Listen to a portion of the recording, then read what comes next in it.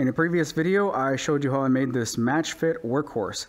I called it a match fit workhorse because it utilizes the match fit hardware system and it has the work holding options of a workbench and the form factor of a sawhorse. In this video, I'm going to show you how I made basically the same thing, but with traditional work holding options. As I begin this project, let me tell you a little secret. You see here that I'm using a workbench to build a workbench. It's kind of like what came first, the chicken or the egg. The truth is, if you think you need a workbench to build a workbench, then you are correct. If you think you do not need a workbench to build a workbench, then you are correct. As Henry Ford once said, whether you think you can or you think you can't, you're right. The first step in this build is to cross-cut a 2x12 southern yellow pine board for the two pieces that will make up the top. The saw I'm using here is a 0.37 horsepower Bearcat with an off-grid calorie burning power plant. The one board is cut into two boards plus firewood. Here you can see the amount of cup that needs to be removed before I can glue these together. The weapon of choice is a 6.9 pound iron paperweight that also conveniently shaves wood quite well.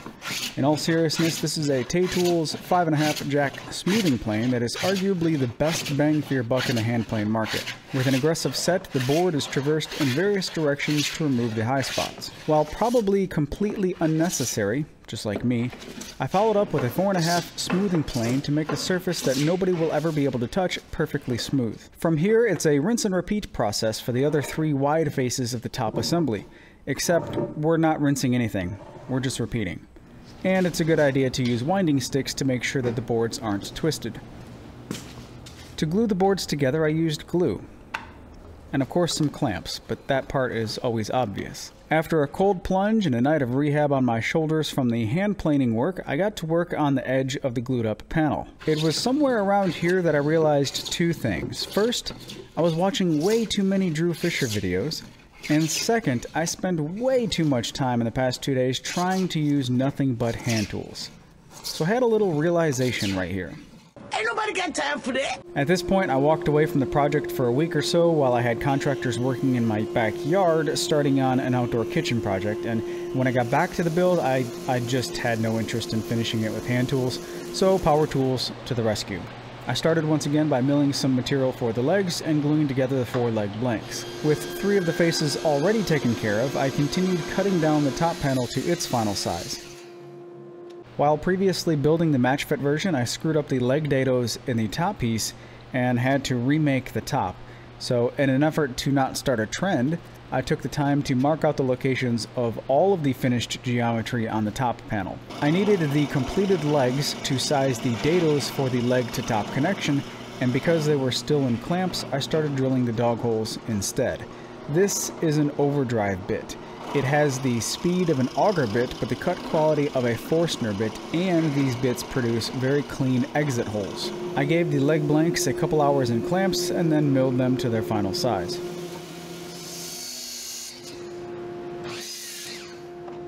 Just like with the match fit version, I made a quick jig to cut the angled notch on the top of the legs. It's just an angled piece of scrap sheet material with a stop on one end.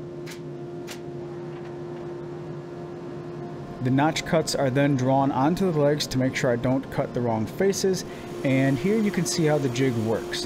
No toggle clamps or hold downs necessary, it's just an angled reference face that rides up against the fence. After all the cuts are made in one direction, the jig is rotated 90 degrees and the second cut is made. This is essentially creating a 90 degree corner that is on a specific angle from the length of the board. With the legs done, I now knew the exact width needed for the top dados, and in the match fit version, I used a single table saw blade to just nibble away the material. Uh, that was that was way more work than I initially thought due to the size of the panel that I was moving across the saw. So I took the time to set up the dado stack for a 3 quarter inch bite per pass. The fit I achieved was borderline too tight, but I know that these legs will shrink over time and I'd much rather deal with a frustratingly tight fit now than a super sloppy joint sooner down the road. The offcuts from the bandsaw are perfect to use as clamping cauls to make sure that the legs are positioned tightly where they need to be. Then the stretchers can be set in place and traced with a pencil. All of these stretchers are first cut to length at the miter saw and then a matching angled rabbet cut is made on each end. The depth of the cut isn't too critical here, removing anything less than about half the thickness will work. To install them, a little bit of glue and two screws per joint is used.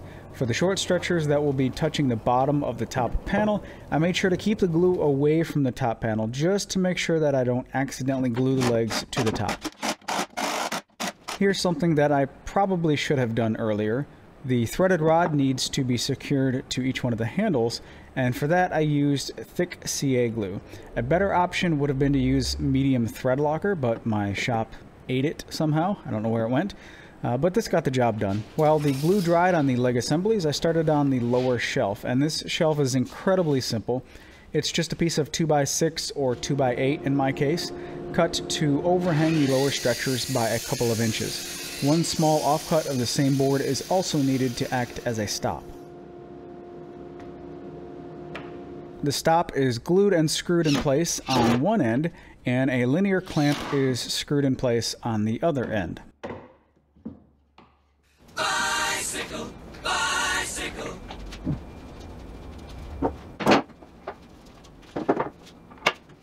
Now that the structure is done, I can take it apart and work on some more details, and as it turns out, the leg to top joints were a bit too tight.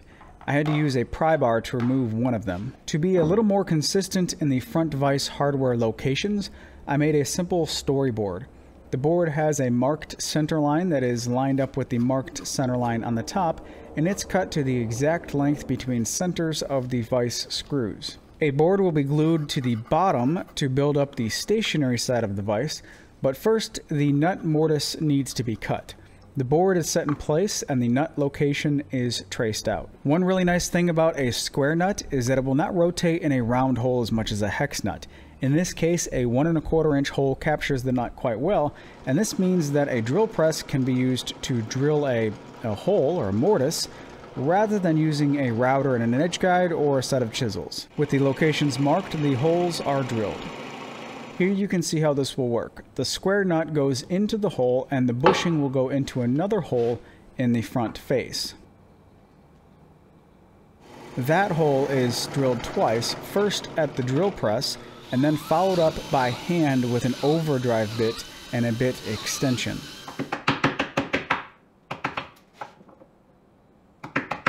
The threaded rod should pass through the bushing, engage the nut, and then go into the open space beyond without touching any pine. This ensures smooth operation of the screw. While the drill press is still set up, the dog holes on the back face can be drilled. The final depth here is determined by the dogs and clamps that you may use in them.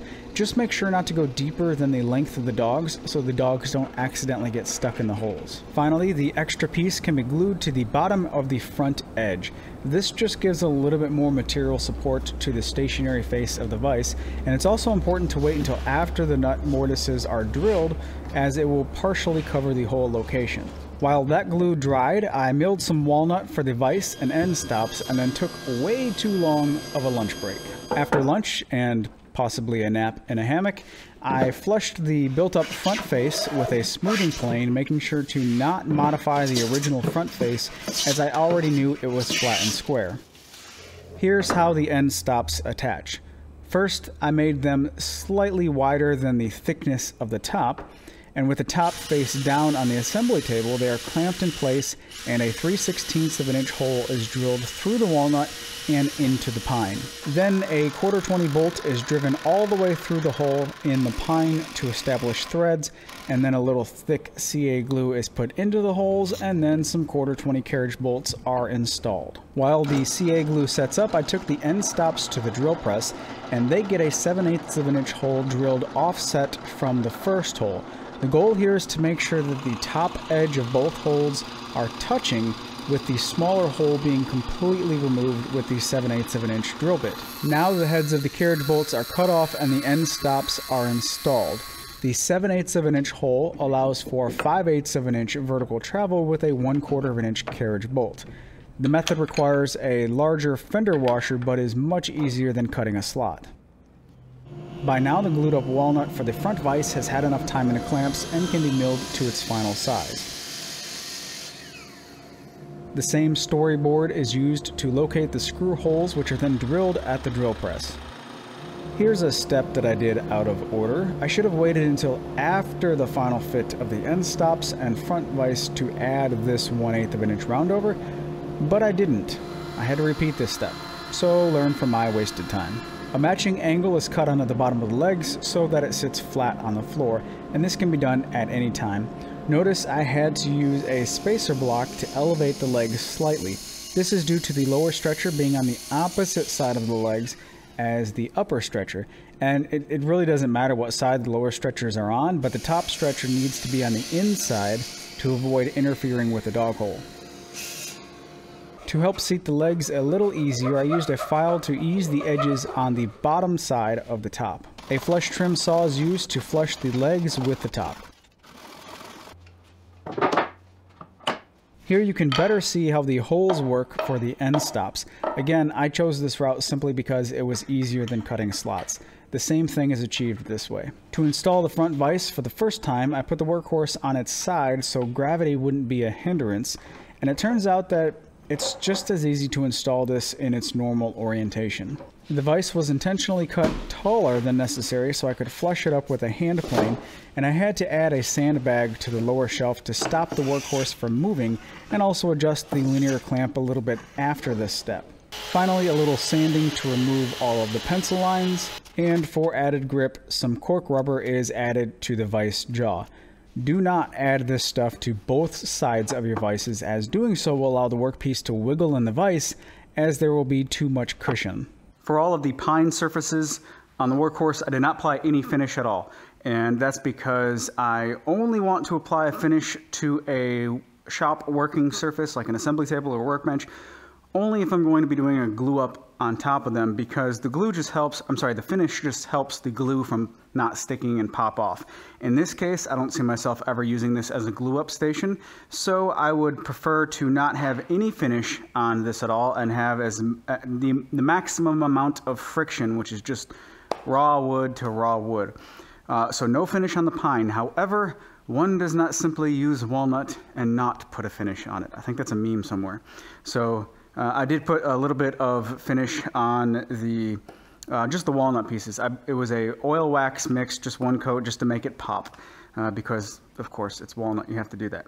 So with that said, let me bring you in closer and we'll talk about all the different work holding options with some accessories as well as with some that are built into the bench. The first and most obvious clamping solution is this twin screw vise. Twin screw vices are great. You can use pipe clamps, you can use an inexpensive hardware kit like this, you can use a fancy, fancy, really nice one like a Benchcrafted hardware kit. Regardless, you're gonna get the same two benefits. Number one, it gives you a lot of wide, it gives you a wide clamping area in between the screws to get nice even clamping pressure along the entire width of your panel. Number two, you're not limited by the uh, screw location. You're not limited by the, the depth at which you can put the material into the vise. So in a single screw vise, like a leg vise on my workbench, uh, for example, there is eight inches of travel, or eight inches between the top of the screw to the top of the workbench surface on my leg vise. And that means if I have anything that's longer than 8 inches, I can't put it on top of the screw and get even clamping pressure along the top of the leg vise chop. Instead, I have to put it to one side. And if I'm putting it to one side, then the exposed area is not clamped and can sometimes wobble. And then, of course, you're going to rack the vise as clamping pressure is put down over here. This side's going to come in, so you may have to put a shim over here. So with a twin screw vise, you're not limited by the vertical distance. You can put something long in place and still get good even clamping pressure along the top where you need it. Uh, and also, you're not limited by wide stock with this setup like so.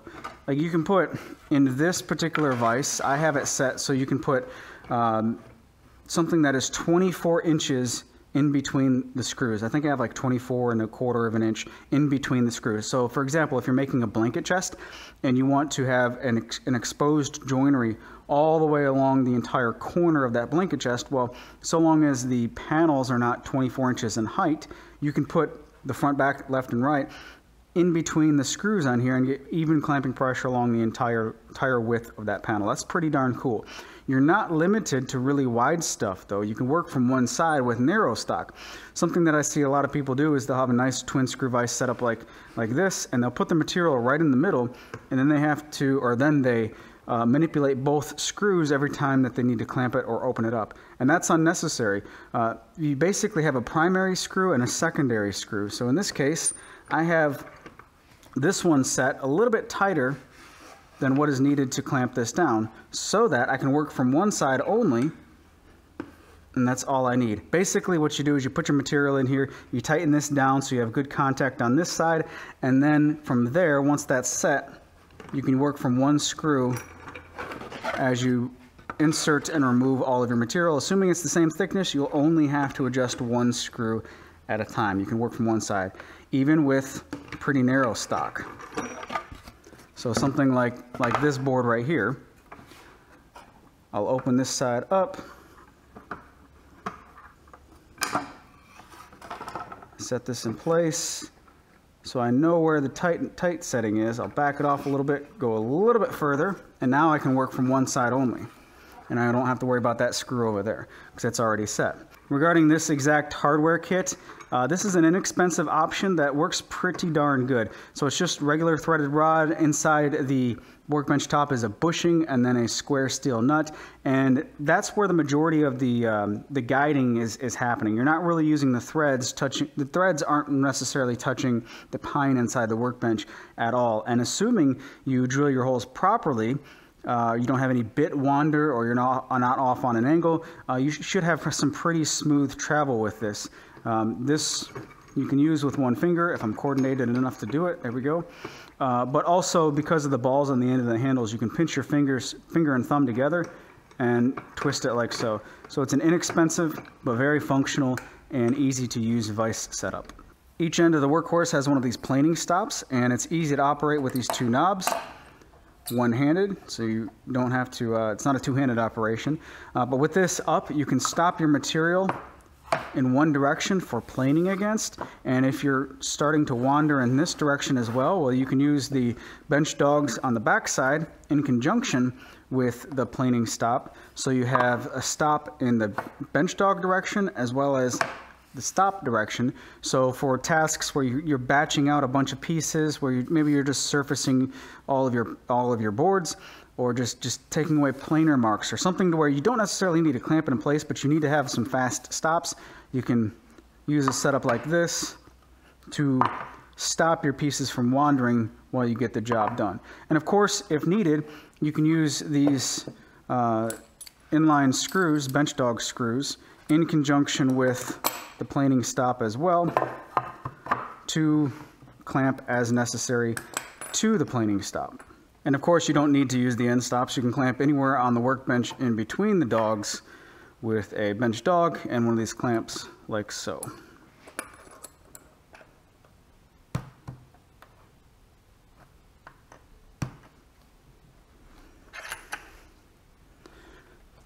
You get some pretty darn good clamping pressure here. I think I can lift the entire workhorse. I don't have that sandbag on the bottom, but you can lift the whole workhorse before it lets go of those clamps.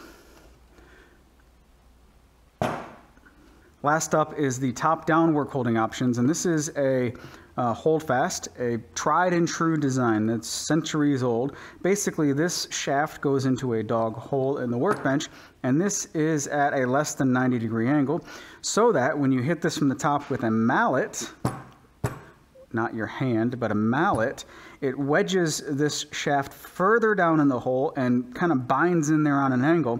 And when in, in, doing so, the downward pressure you have here is springing this joint open a little bit, putting downward pressure on your material. So with a good hit with a mallet, it'll lock this in place. I'm surprised that worked with just my hand, but it'll lock your material in place so it's not going to wiggle around. This is very handy for like a drawer side or something that you're dovetailing and want to chisel out the waste.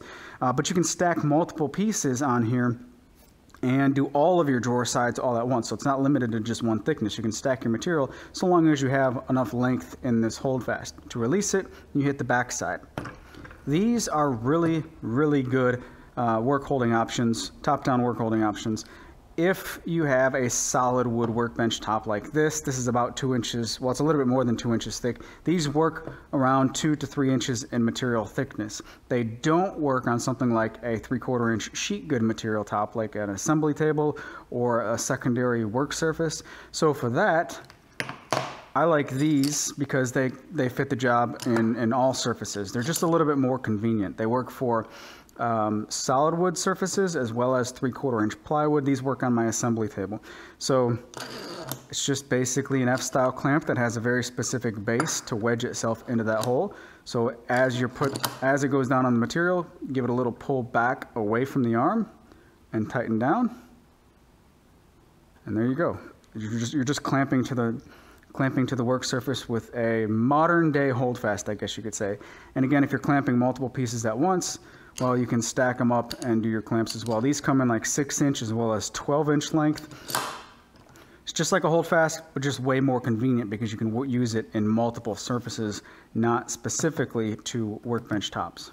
The backside also has a row of dogs, so you can use both of these accessories in those holes if needed as well.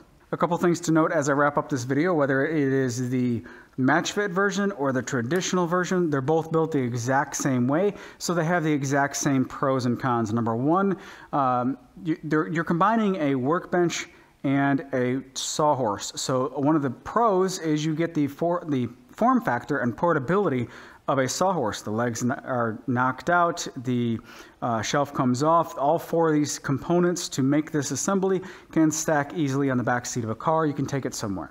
You can also keep it stored in the corner of a shop space. If you're limited for space, it doesn't take up that much space. The form factor of a sawhorse.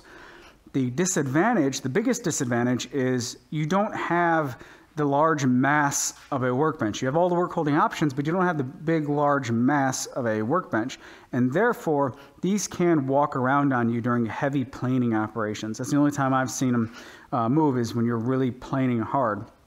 And for that, I do recommend getting some sandbags. Sandbags are $3 for 50 pounds where I live, one, two, three, four, however many sandbags it takes for it to stop walking around is a very easy and convenient fix to throw on the bottom uh, or addition to throw on the bottom shelf and stop these from walking around. If you're using kind of like a, a sawing station, so if you're typically using it for joinery, you probably won't have to add anything at all, especially if most all of your forces are going from the front to the back of the sawhorse or the of the workhorse because the legs are triangular in shape and it is extremely solid in that direction.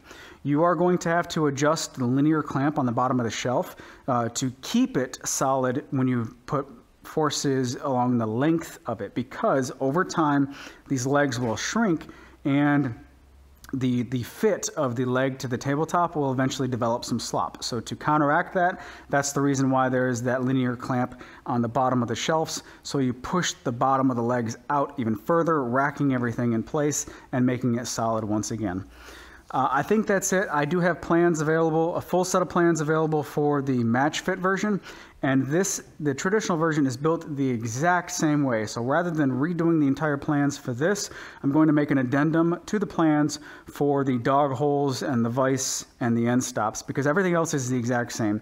And I'll include the addendum for this one with the MatchFit version. If you've already purchased the MatchFit version and you would like to have the information for the traditional version, uh, just reply to the sales receipt and I'll get, get those sent out to you.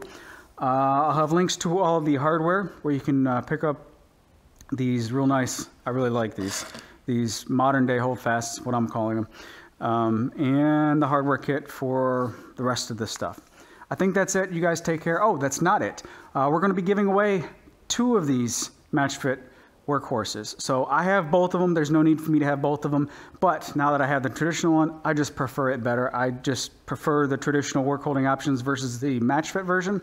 So I'm going to be doing a giveaway for mine, pickup only. And then my friend from Taylor Toolworks is going to be giving away his match fit version, uh, shipping to the United States. So uh, I'll have a, I guess I'll have a pinned comment if you're watching this on YouTube of, of how you can enter uh, to, to win those. But that's it. You guys take care, have a great day, and I'll talk to you in the next video.